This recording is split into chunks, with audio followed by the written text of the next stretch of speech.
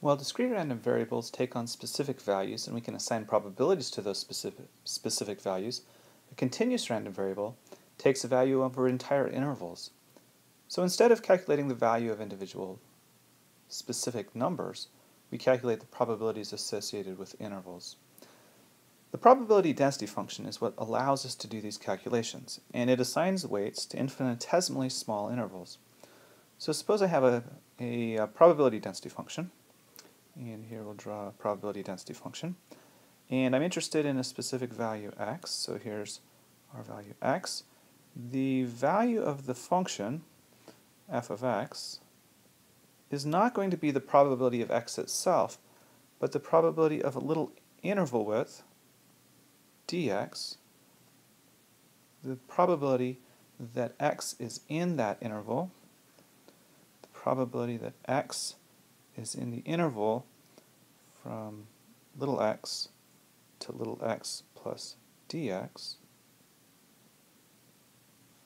is going to be equal to the value of my density function times the width of my infinitesimally small interval. So if I'm interested in the, the uh, probability that I'm in an entire interval, so for example, the probability that I am between A and B, I need to add up all of these infinitesimal contributions. And the way that I do that is with an integral. I would integrate from A to B the value of my density function integrated with widths dx. So this is what the density function does. It gives weights to infinitesimally small intervals and if I want to calculate a probability over an interval, I need to add those all up using an integral. So for example, think about this random variable. x is continuous. It has a density given by 1 half x on the interval 0 to 2. So we know that the values of my random variable have to land in the interval from 0 to 2. They can't be outside. Now if I'm interested in the probability that x equals 1, that is 0. Probability that x equals 1 has a value of 0. What the density says is if I'm interested in the probability of being in a small interval around that point, for example, I might say, what's the probability that I'm between 1 and 1.1? Then the probability can be approximated using the density. The probability that 1 is less than x is less than 1.1 is going to be approximately equal to the value of my density, f of 1, times the width of my interval, 0 0.1. And so the value of my density is half times 0.1, and I get 0.5 times 0.1 equals 0.05. Now, this is only approximate because we really should be doing an integral. You see, if I were to zoom in on that interval from 1 to 1.1, I actually get a fairly wide interval that in and of itself could be split into lots of little pieces. In each of those intervals, I would need to calculate the height of the density, multiply by the width of the little subinterval, and add them up. And in a limit, I would get an integral. So in the limit, I get an integral from 1 to 1.1 of 1 half x, the density, times the little width, dx, and I add those up through integration. Using the fundamental theorem of calculus, I get an antiderivative to help me answer the question if I evaluate my antiderivative at 1.1 and at 1, and I subtract those values, I recover the actual area. So plugging 1.1 into x squared, I get 1.21. Plugging 1 into x squared, I get 1. Also multiply by a fourth. So when I calculate that, I get 0.0525, which is not quite the same, but it's very close to the 0.05 that we calculated using the approximation. So it's integration that we use to calculate total probabilities. To try to make this even more tangible, what I've now done is I've simulated this probability distribution in R. I've generated a thousand different data points. And so those are plotted below. So what I want you to notice is that the higher density, near 2, I have a lot more dots. At my low density, near 0, I have a lot fewer dots. Plotting a histogram allows me to look at those dots and figure out how many I have in different locations. In other words, I'm binning my data values. So for example, in this first interval, from 0 to 0 0.2, I counted up 9 dots out of a 1,000, and so in that interval I have 9 out of a 1,000 of my points from 0 to 2. The second interval from point 2 to point 4, I had, I had counted 24 dots, and so there were 24 out of a 1,000 points in that interval. Now a probability density is the probability per unit length. So if I look at this first interval, uh, it was my probability was 9 out of a 1,000, so point zero zero nine. My interval width was 0.2, and so my density is going to be equal to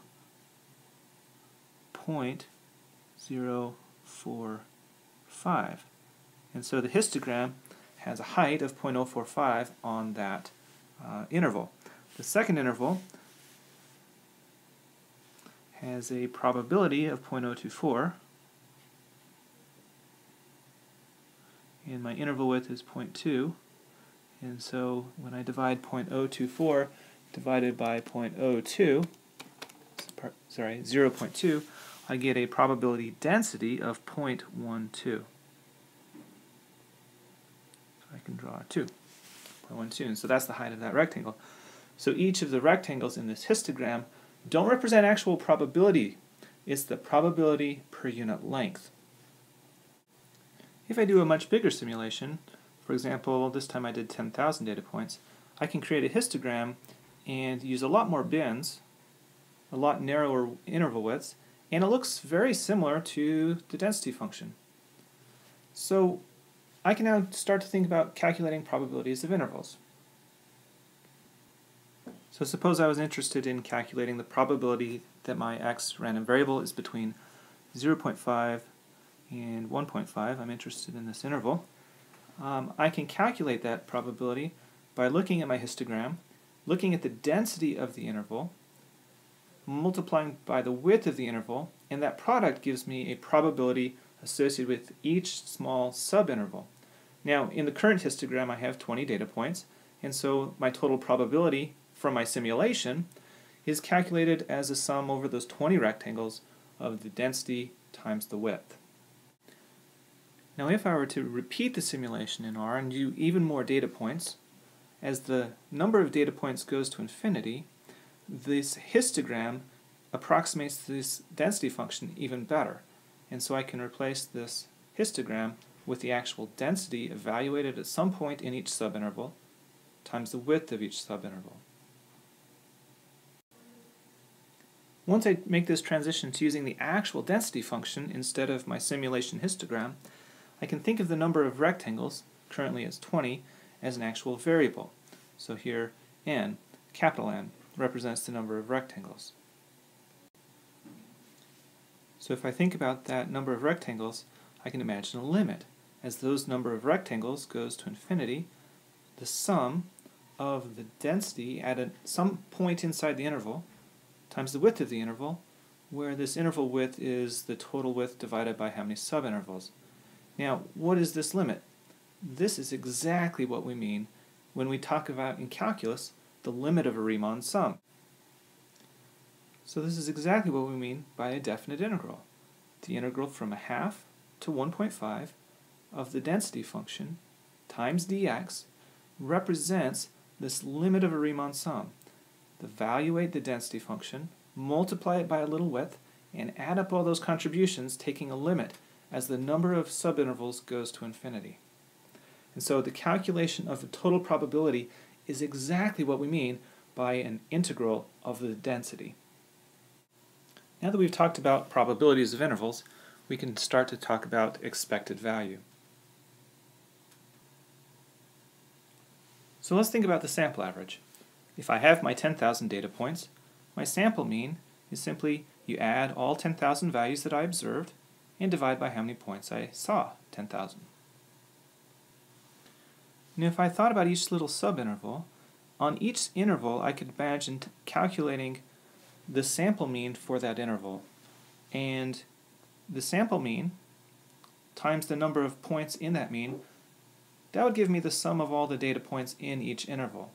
And so if I were to add over all of the subintervals, the sample mean times the number of data points that went into each sample mean, and then divided by the 10,000, I get the exact same calculation. But this number of data points divided by 10,000 is exactly the relative frequency that we saw of the data points in the subinterval. And so I can regroup this and think about taking the sample mean of each subinterval, multiply it by the density times the width, and that'll give me the exact same calculation. So this is starting to look like our earlier calculation, with the exception that I still have an extra piece. I have an xk. Now if I let the number of data points go to infinity, my average is going to go to some x value that's in the subinterval. My density is going to go to the true density at some point in the subinterval, times the width of the subinterval. And now I have a Riemann sum. If I then let the number of subintervals go to infinity, the Riemann sum becomes a definite integral. And so I'll integrate from 0 to 2, that's the range of my random variable, x, so this is representing the average value of x, times the probability of a infinitesimally small interval, the density, f of x, times the width, dx. So this is how expected value is com computed. It's an integral. The expected value of x will be the integral from 0 to 2 of my function x, so I'm taking expected value of, times the density dx. This is the probability of a small subinterval. To compute this, this expected value, I replace the density with its formula, 1 half x. So in this, I have x coming from what I'm taking an expected value of, times the density dx. 1 half x dx. This is the probability of a small subinterval. As soon as I simplify that and rewrite it as 1 half x squared dx, I no longer have a good probabilistic interpretation. It's just a definite integral, just calculus, 1 half x squared dx. Because I know how to find an antiderivative, 1 sixth x cubed, I can use the fundamental theorem of calculus to compute this definite integral. I evaluate the antiderivative at 2 to get 1 sixth of 8. I evaluate the antiderivative at 0 to get 1 sixth of 0, which when simplified is 4 thirds. The expected value of this random variable is 4 thirds. This is what motivates the definition of expected value. If I have any continuous random variable x with density f of x, the expected value is the integral from minus infinity to infinity of x, that's what I'm calculating the expected value of, times the infinitesimal probability of each subinterval, f of x, the density, times dx, the subinterval width. If I have a second random variable, y, that's a function of my random variable x, then the expected value of that new variable, the expected value of g of x, is also an integral from minus infinity to infinity of g of x, that's what I'm calculating an expected value of, weighted by the probability of a subinterval, and I add up over all the subintervals. Now in practice, a density does not have the domain from minus infinity to infinity. So these integrals from minus infinity to infinity get replaced by the appropriate integral on which f of x is defined. Everywhere else, f of x is 0, and so the integral doesn't contribute anything.